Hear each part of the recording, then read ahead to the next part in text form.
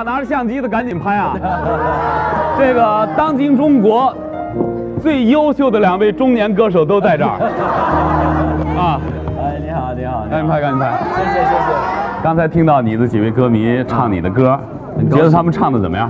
唱的很好。很好啊。对对，我刚在后面偷听啊啊，那我觉得很很很真实。嗯，我我喜欢这种感觉。我给大家说啊。刚才王杰怎么偷听的？你看那个板上面有这么大小眼儿，你怎么把我的习惯给偷说出来？他就趴那儿看，看大家怎么在唱他的歌。对对。其实呢，听到这些歌呢，确确实实我们觉得非常的亲切。我想问你这么一个问题：你知不知道你那个忧郁的眼神，嗯，迷倒过多少个女孩子？有吗？没有吧？那为什么我都好像没什么交到女朋友？开个玩笑。呃，那。呃，欢迎大家来到艺术人生的现场啊！嗯谢谢，欢迎大家来，请坐。今天呢，真的很高兴有这样一个机会啊，跟王杰在这交流。因为我记得在很早以前呢，我就看过一个报道，这个报道上这么说：说这个王杰呢到香港，香港歌迷说你是台湾人，嗯，到台湾，台湾歌迷说你是香港歌手，对。那你知不知道咱们内地的歌迷怎么定位你？我不知道。说白了。嗯，你就是咱家乡人，是的啊，陕西人嘛，是不是？没错，哎，对，对，用咱陕西话来讲的话，就是，哎呀，就是咱相当嘛。哦，陕西，陕西，啊，对吧？那真正第一次踏上内地的这个土地，哦，那个那个心情，呃，很难去形容。我才最记得我我第一个脚步踏到这个。这个飞机场的那块地的时候，我第一件事情就是拿那个手摸一下那个地下。对啊，因为什么特殊的含义吗？啊，就是终于终于到了，我终于到了，然后那个感觉就是很很棒。那这次来这个内地呢，是做你第五十张专辑的宣传。嗯，你有没有统计过，在歌坛上有有几位歌手出过五十张以上的专辑？没有，现在在中国人歌手，我我。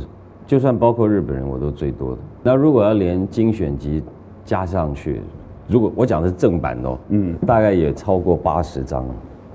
对，八十张，八十张。谢谢谢谢。那做了这么多年歌手，你觉得歌手这个职业带给你心里的最大慰藉或者是最大快乐是什么？我先先告诉大家，基本上我我并不是很喜欢当歌手。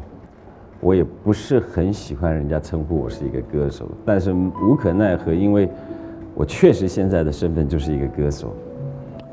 呃，我其实我最快乐的一件事情，如果严格说起来，说当了歌手之后，我也发现一个很高兴的现象，就是很多朋友听了我的歌之后，他们不会认为那个主角是王杰，每个人听到王杰的歌，他们都会觉得那个歌是我自己，他是他本身自己才是主角。十二岁起，王杰一个人独自留在寄宿学校长大。他渴望着家庭的温暖，也习惯了一个人的流浪生活。我从小到大，我都常常被人家欺负。离婚之后再没来看过。我在那次才很意外的碰到我父亲，他也看不出我是谁。我当然知道他是我父亲。到了孤儿院的那一天，我突然就觉得自己好像跟他们没有什么差别。十四岁就开始写歌了。对，我在。应该说十三岁多了，第一首歌叫什么？娃娃在哭了，有人会唱吗？会会唱，来，真的，来，你给我们，你给我们唱两句，听听这个。哇，谢谢。娃娃在哭了是个，是个什么样的歌？娃娃在哭呀，娃娃在哭呀，娃娃不在旁。哇，这么快！娃娃在哭呀。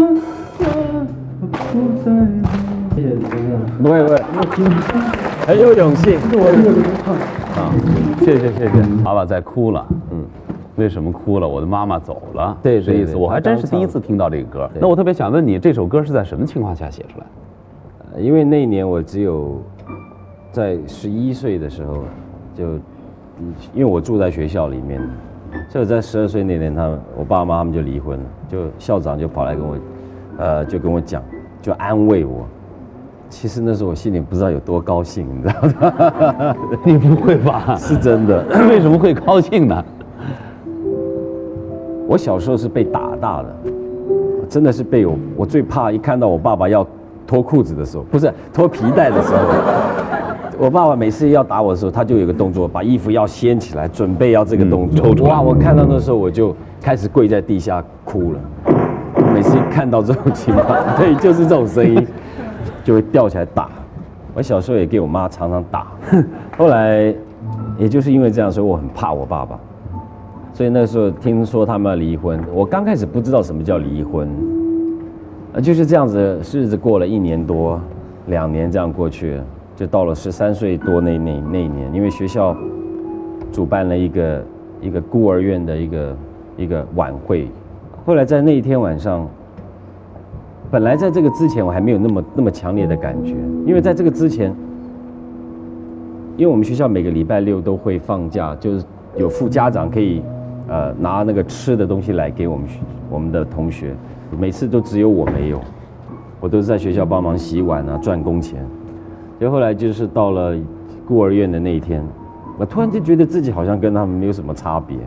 就后来有一天，我在我学校的教堂后面，我们的后面的风景很漂亮，一望无际的海，就这样子自己拿一张纸跟笔，就这样一路在哼，自己觉得很难过，就在就拿个吉他就这样一路弹一路哼，就把那个谱写下来。结果就是这样子，突然间我整个人就变了个性，嗯，就开始不说话了，老师就开始紧张了，学校的老师就。因为他们觉得这个人那么皮，怎么突然间一下子啊？对，一下子变成这样子，呃，所以那个时候人的个性就开始改变，好像你。